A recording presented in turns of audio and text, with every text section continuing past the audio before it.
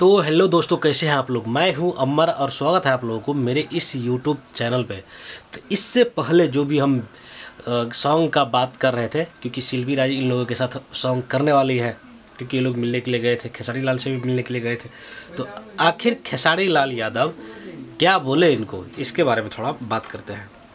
देखिए, खेसारी लाल यादव भोजपुरी सिनेमा का, Bhojpuri song industry का, इस सब चीज़ का, ये लोग बहुत बड़े सुपरस्टार हैं। ये लोग अगर किसी के साथ काम करेंगे तो उसकी कैरियर रातों रात बन सकती है।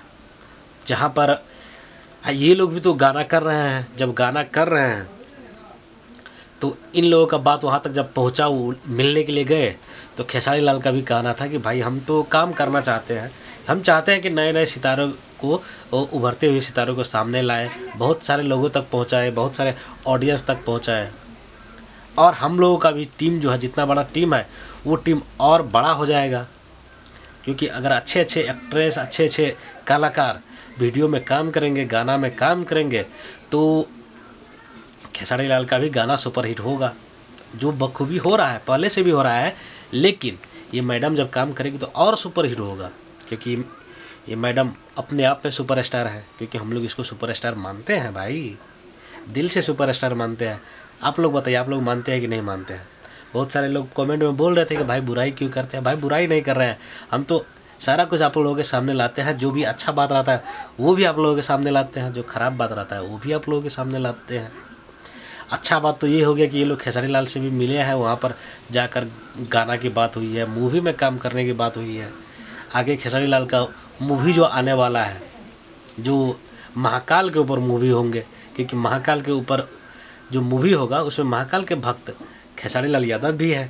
मैडम भी तो महाकाल के ही भक्त है ना?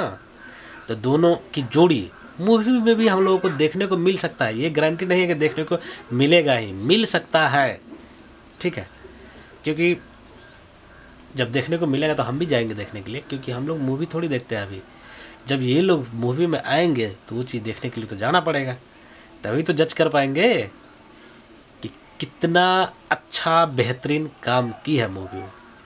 ठीक है दोस्तों, ये इन्फॉर्मेशन यही तक रहा। आगे और इन्फॉर्मेशन आया है, लेकिन उसका बाद हम आगे वाली वीडियो में उसका बात करेंगे। ठीक है? पवन सिंह भी तो कुछ बोले हैं, गुंजन सिंह तो है ही भाई। क्योंकि ये लोग, ये सारे लोग सुजीत पांडे के एरिया के हैं, सुजीत पांडे के क्षेत्र के हैं। तो वहाँ पर तो सबसे भेंट मुलाकात हो ही जाती है। चलिए दोस्तों, इस वीडियो को यहीं पर ख़त्म करते हैं। मिलते हैं आप लोगों से अगले वीडियो में। नमस्कार।